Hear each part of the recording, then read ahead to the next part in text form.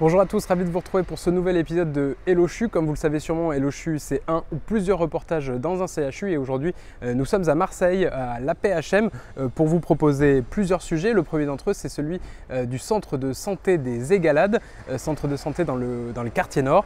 On avait découvert ce sujet à Santexpo, rappelez-vous, François Crémieux, le directeur général de l'APHM et le docteur Michel Rotilly étaient venus pour en parler. Vous pouvez bien sûr retrouver notre sujet sur la chaîne YouTube de Réseau CHU.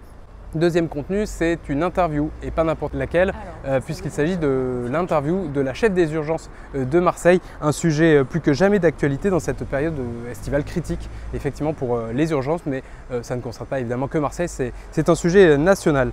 Avez-vous déjà entendu parler du biogénopole? Pas encore Eh bien regardez notre sujet consacré à ce centre de biologie XXL ici à Marseille qui a été inauguré euh, à la PHM début juillet.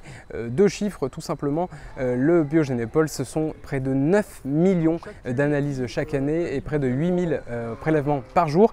Enfin dernier morceau de cette virée marseillaise et peut-être pas la moins intéressante dans cette période estivale où on se baigne beaucoup, on va à la plage, où on s'expose, celui de la découverte du scanner Vectra 3D euh, unique, scanner unique pour le dépistage euh, du mélanome. Voilà, hello, je suis à Marseille, c'est tout de suite.